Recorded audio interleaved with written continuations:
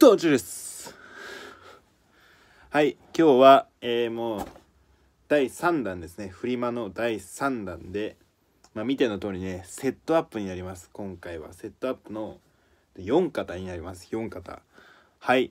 であのね毎回説明してるんですけど、まあ、注意事項としてはあくまで古着ということと、まあ、値段設定も僕があの独断で行っているのでそちらもご了承ください。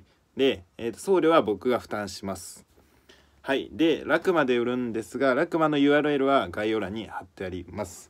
はい。で今からものを一つずつ見ていきたいと思います。はい。1つ目。1つ目はこれ。これですね。まあ黒の黒のダブルのセットアップでこっちパンツがねそうもうダブル仕上げになってます。はい。こういう感じですね。でこれちょっとわかるかな？これなんかちょっと模様入ってるんですよね。模様。一応黒なんだけど近くで見るとなんか不思議な模様みたいな入ってるっていうセットアップになります。はい。でこれが1つ目。で一応この値段がえー、っとね6500円。セットで6500円にしたいと思います。はい。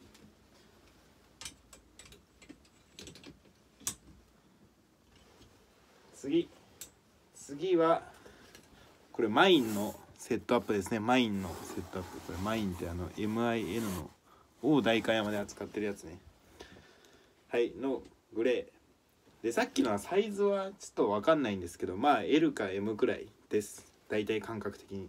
はいこれは、えーと、パンツが一応 S サイズで一番ちっちゃいので、えーと、ジャケットはフリーサイズになります。はい。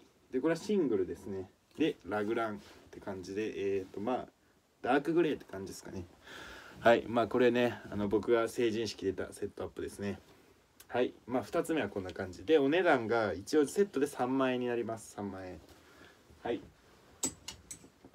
次。次はえっ、ー、とこれは古着ですね。古着の、えーと、ベージュのセットアップ。これもダブル。で、えーと、これもね裾がダブルになってます。はい。こういう感じで。です。はい。まあこれも着たいと思います後で。でこれのお値段が、えーと、1万2000円にしたいと思います。で先に言っとくんですけどここのねちょっとわかるかな。股のとこにねちょっとねあんま目立たないんですけどシミがちょっとあるんですよね。はい、まあ、そんな感じ。はい。後で着ようと思います。はい次。次はセットアップって言ってもちょっと珍しい形なんですけどこういう感じ。こういう感じのセットアップ。でこことかはリフレクターですね。この前の胸のとこもリフレクター。でパンツもこのサイドにリフレクターがついてます。はい。でこれはねあのガチのえっ、ー、となんかどっか海外の郵便局員の人が使ってたやつらしいです。はい。で一応これねこう開けてここかなここに書いてあるんですけど一応これねこれ見えるかなこれ。うんこれ。これゴアテックスなんですよね。こう見えて。ゴアテックスまあ上だけゴアテックスで下はなんか普通になんかこうシャカシャカじゃないね。普通のコットンっぽい感じの素材です。で下のパンツはちょっとねこことかに毛玉があるちょっと使用感があります。はいでこちらのお値段が、えーと、1万6000円にしたいと思います。はい。であさっき言い忘れちゃったんですけどえっ、ー、とね今日のこの動画が上がった日の11時にラクマで販売開始予定です。はいそんな感じです。では今から着ていきたいと思います。はい1つ目着てみました。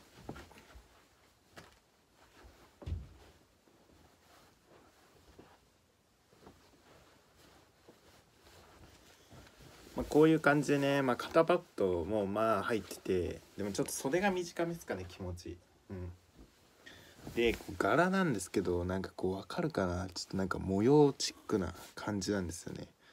遠目から見たらただの黒なんですけど。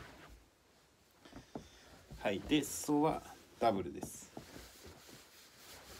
はい。まあこれはこんな感じっすね。で一応なんかブランドなのか分かんないですけどベネウオモって書いてあります。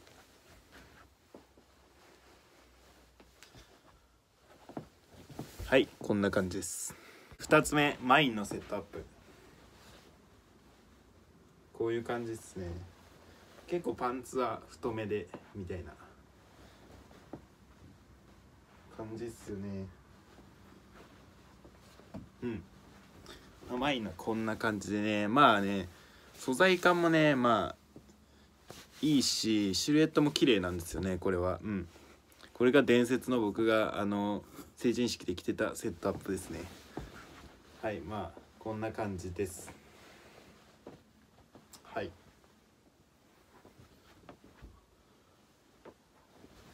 はいこんな感じ。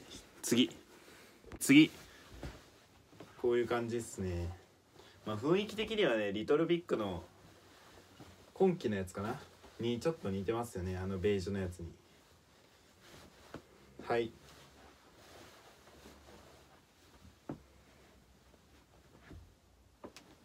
はいこんな感じですね。うん。はいこんな感じになります。色はまあこういう感じね。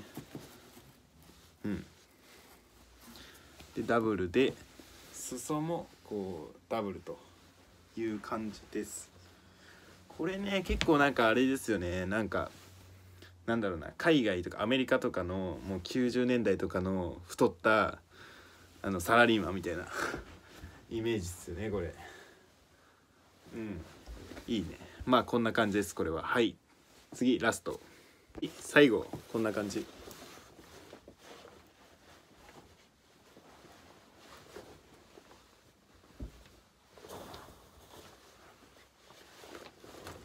こういう感じでえっ、ー、とまあチャック閉めるとね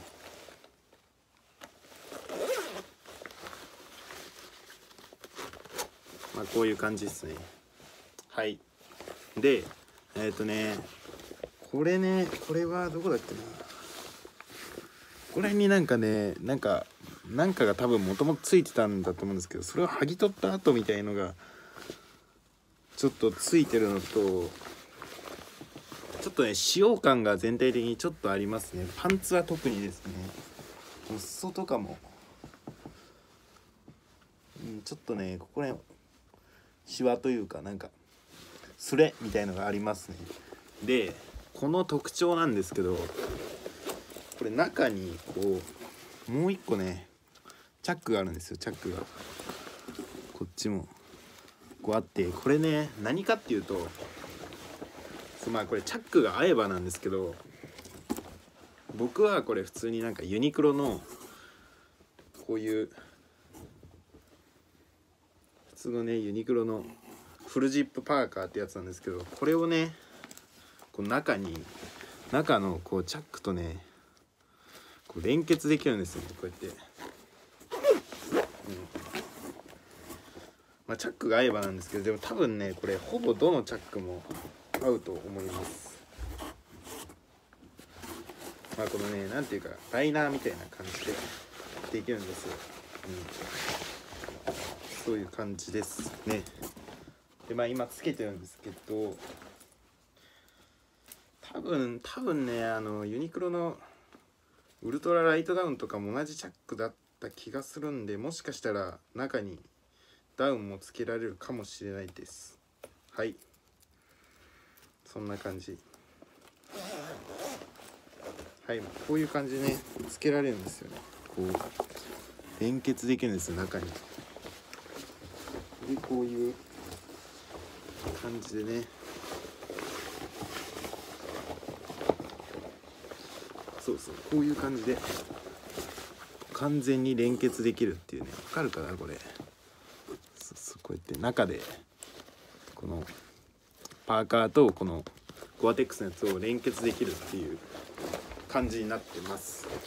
僕はこうやって着てましたねよくこうやって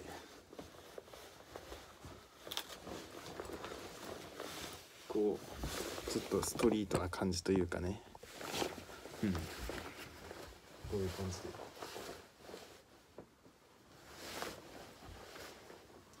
はい。